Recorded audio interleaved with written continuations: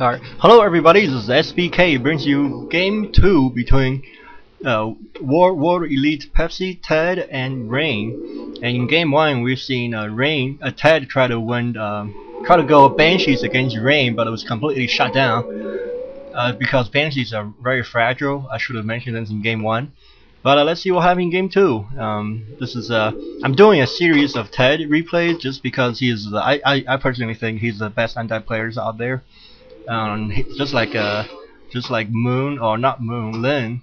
Uh, SK Lyn is the one, probably one of the best orcs out there, besides Grubby. And uh, let's see what what uh, what Ring can do against Ted. Ring was uh, Ring was I believe he was a part of a Meet My Maker clan, but uh, correct me if I'm wrong. but um, I believe yeah I'm pretty sure he was a, a part of um, part of a Meet My Maker um, MYM clan. Uh, and they went bankrupt, so he has to. He now he's a free agent. That's why he doesn't have any uh, clan um, like clan um, name in front of his uh, his uh, name. He's ring one. I don't know what that means.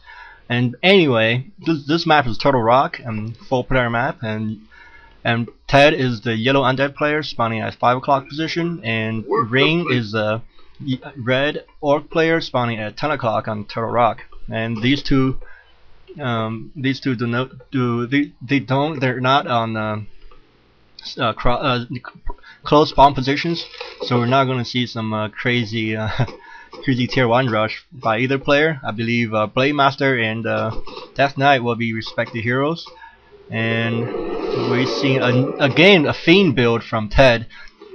Fiend Fiend build from Undead player is you throw down a crypt and then graveyard and then altar before before you put down a ziggurat.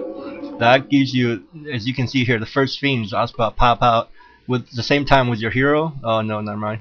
the first fiend pop out before your uh, before your hero actually.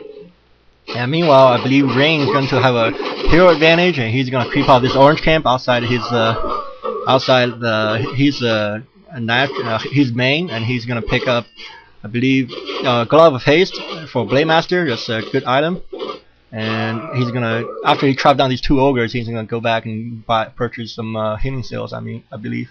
Nope. Uh, yep. No, no. He's gonna come over, come back over and chop down this uh, uh, green camp outside his main.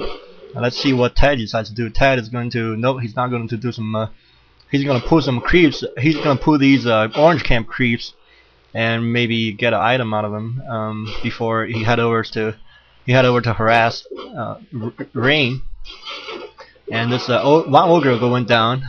And I think he uh, uh, Ted has uh, Ted has purchased uh, Dust Appearance just in case Blade Master is uh, around, which uh, he's not. And uh, this is a and Blade Master now around, and Blade Master jacked his creep, and the Dust Appearance went off of Blade Master. Blade Master needs to back off.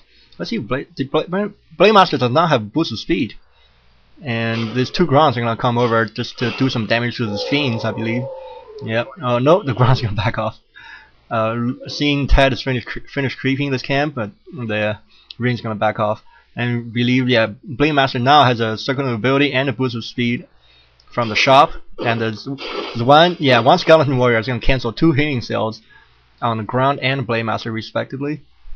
Respectively, oh yeah, man. Ted is going to pull the creeps uh, just to attack the Blade Master. So good move. Just use the creeps uh, as your uh, to your advantage.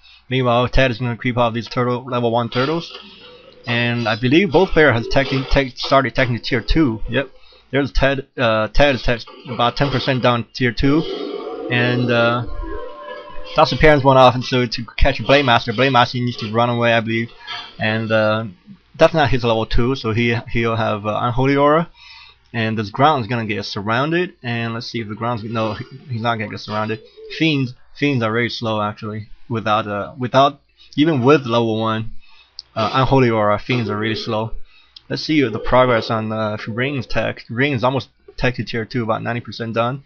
And Ted is uh, almost 50% down to tier 2 Ted has five uh, four fiends. And fifth one's getting oh no that's a ghoul. Never mind.